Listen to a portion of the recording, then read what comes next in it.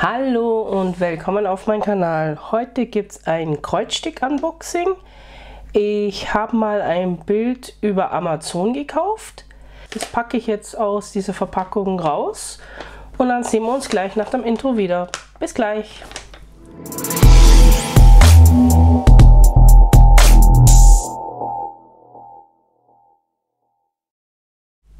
Und hier ist die Stickpackung, was in der Tüte drin war.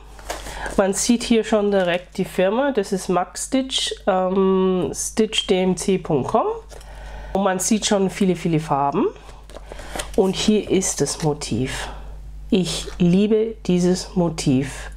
Das ist die Grinsekatze aus Alice im Wunderland.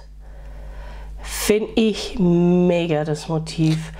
Ich habe es mir damals schon überlegt, als Diamond Painting Bild zu nehmen, aber da hätte ich es sehr groß nehmen müssen. Also ja, 60 mal 80 oder sowas in der Größe. Ich weiß, das gibt es auch als Perlenstickbild. Das habe ich, glaube ich, auch schon gesehen, dass es das gibt.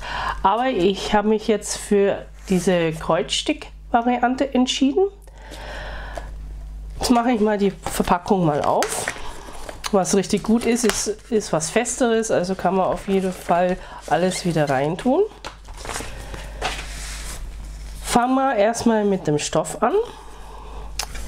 Wir haben hier 14 Count, normales Eiderstoff, also nichts Besonderes. Wir haben hier zwei Nadeln, sehr schön und die sind ein bisschen spitz, aber nicht zu spitz, also so leicht abgerundet. Und was auch sehr gut ist, der Stoff ist umsäumt.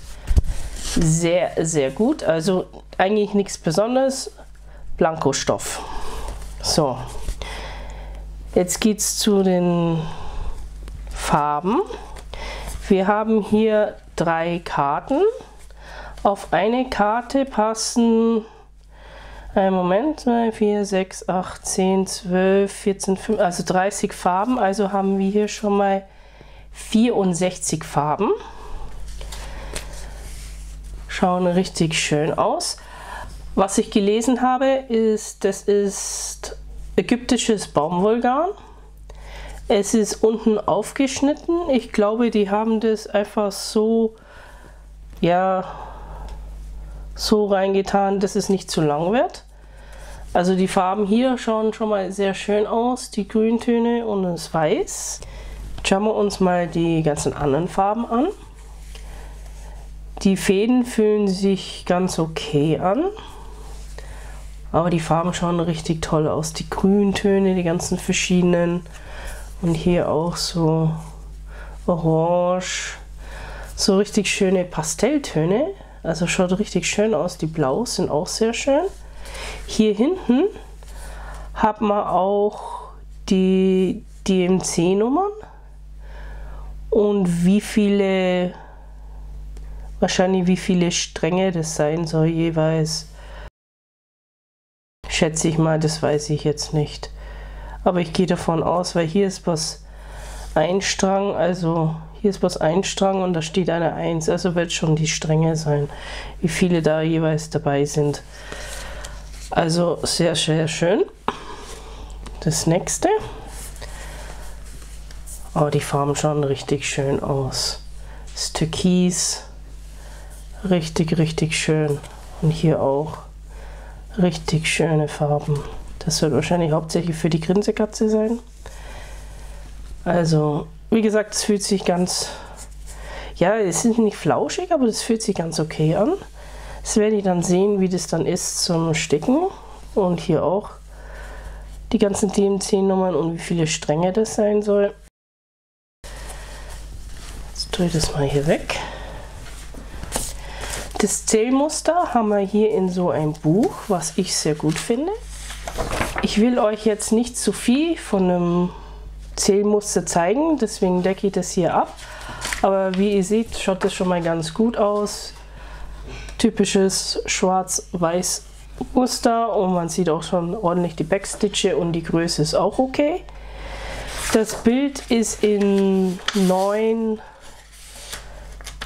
Seiten aufgeteilt. Wir haben auch hier hinten ähm, die Auflistung von die ähm, Kreuzstiche, die DMC-Nummern, wie viele Stränge man da nehmen muss,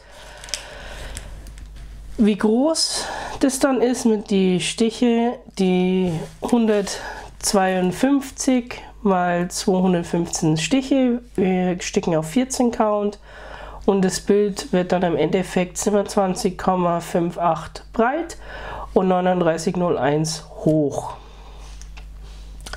Was auch sehr schön ist, wir sticken nicht nur immer zweifedrig mit einer Farbe, sondern wir haben auch manche Sachen, da müssen wir zwei verschiedene Farben nehmen, damit wir ein Kreuz machen, was sehr gut ist. Mal was anderes.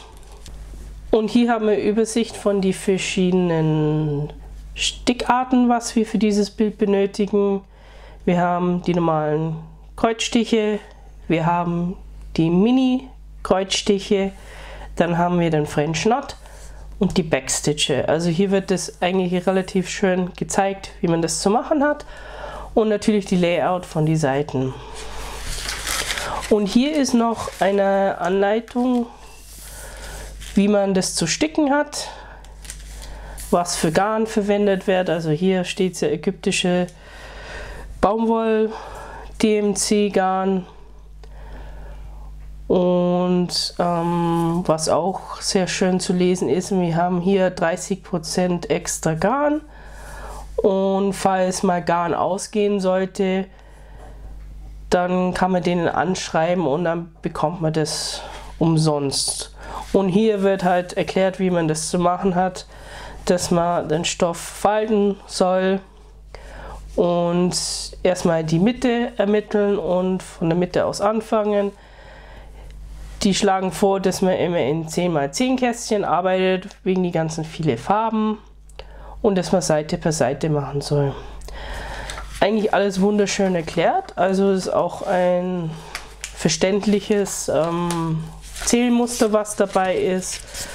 Wird auch gesagt, welche Farben man da braucht für die zwei Stränge mit die Symbole. Also ist eigentlich alles echt richtig nice.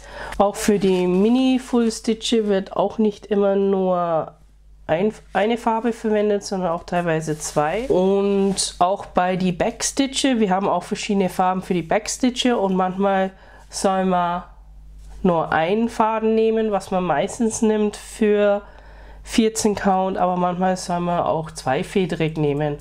Also hier wird es echt wunderbar erklärt, auch mit die French Knots wird angezeichnet, also echt super. Also kann mich echt nicht beklagen, schaut echt super aus. Ich bin jetzt so glücklich, dass ich dieses Motiv jetzt endlich habe. Als Kreuzstickbild wird bestimmt einige Zeit in Anspruch nehmen, bis ich das fertig habe. Da es nicht nur aus normale Kreuzstiche besteht, sondern aus diese Mini Full Stitche und French Knot und ja die Backstitche, aber ist eigentlich nichts kompliziertes dabei. Dann bedanke ich mich fürs Zuschauen. Vielleicht bis zum nächsten Video und ciao!